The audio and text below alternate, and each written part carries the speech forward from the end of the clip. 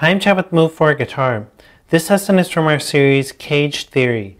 In this lesson, I'm going to talk about seventh arpeggios using the CAGED system. First off, if you like all the diagrams for this series, including the diagrams for this lesson, you can download our free e-guide, CAGED Theory. But I am working on it as I'm filming this lesson, so it might not be available as you're watching this lesson. If it is available, a link will pop up on the screen that'll allow you to download it. And like I said, it's free, so there's no reason not to download it when it is available. This is part 16 from our series CAGED Theory. If you'd like to go back and start at the beginning, you can click the link on the screen. So now you know how to find triad arpeggios using the CAGED system. I'm going to show you the same thing with the next most important type of arpeggio, which are seventh arpeggios. So we're going to look at major seventh, dominant seventh, and minor seventh arpeggios. And again, you can play arpeggios anywhere on your fretboard as long as you play them in order. With sevenths, you're playing root 3, 5, 7 in order, just over and over. That's just the chord tones that you're playing in order like a scale. But the CAGED system helps you chunk them up on your fretboard so that they're much easier to visualize and find. And obviously, there's lots of different options for playing them beyond these caged shapes, but the CAGED shapes are going to give you ability to visualize them and play them up and down your fretboard, and then you can combine them or change them later, but this will really help you see them. So we're just going to go through C, A, G, E, D like we did with the triads. And I'm going to start with major seventh and then do dominant seventh and then minor seventh. So we'll start with C major seven. So this is a C major seven shape on your screen that you should know. And we're not worried about what the actual chord is as far as the root note, but we're just looking at the actual shape right now. So we're looking at the C major seven shape. So this works for a little arpeggio. If you were to play at root 3, 5, 7, you have an arpeggio right there. The notes are in order. But then from 7 to 3, that doesn't work because you need another root. But if you want to play it on all the strings and get a, much bigger shape, you can add in the other notes. And then you'd have root 3, 5, 7, root 3, 5, and then you can go all the way down to this 3 and then back up to root. And then you'd have a full C major 7 shape arpeggio. So you can see within this shape you still have that C major 7 CAGED chord shape but we've just added in the extra notes so that you can play it on each of the strings and that you can play it in order as an arpeggio is.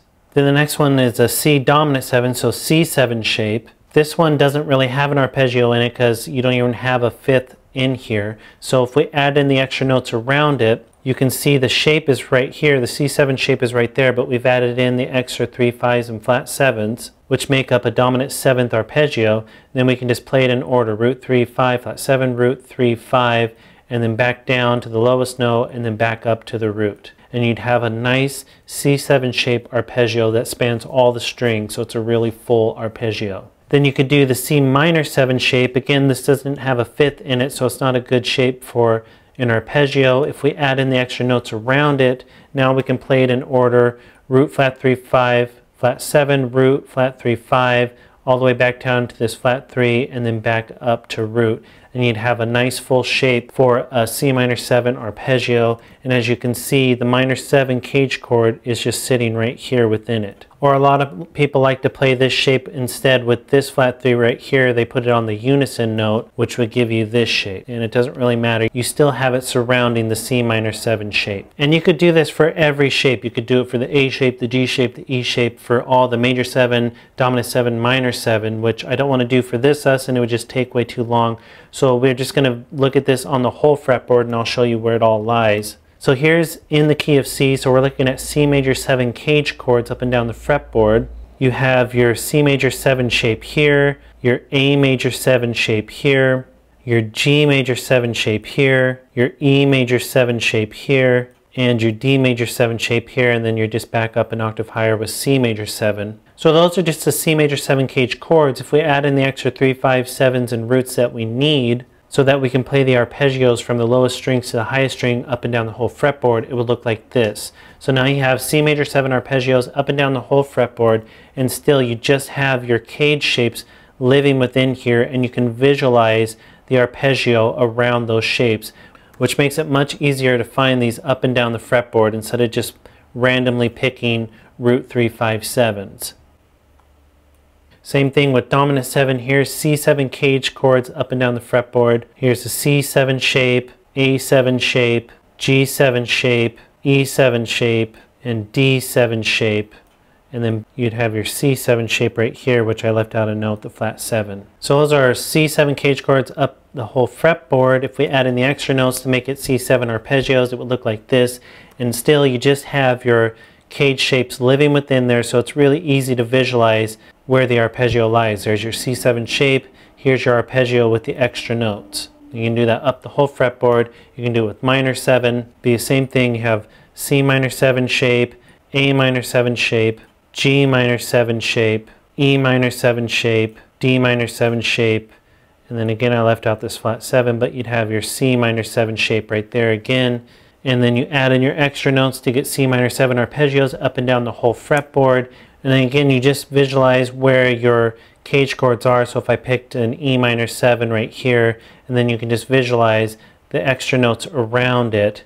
So that would be your E minor 7 arpeggio shape with your E minor 7 chord shape, CAGED shape within it.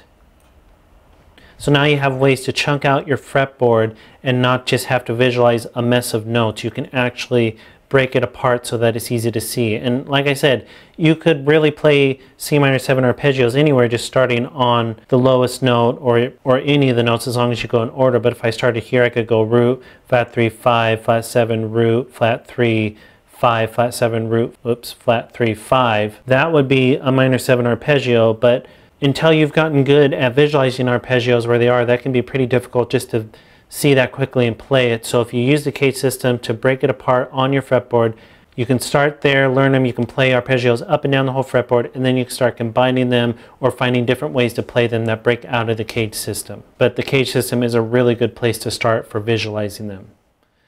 So that's how you can use the CAGED system to find seventh arpeggios. Go ahead and move on to the next lesson where I'm going to show you how CAGED seventh chords work with the major scale modes. And be sure to download the e-guide, all the diagrams are in there, and be sure to subscribe because we had at least one new lesson every day.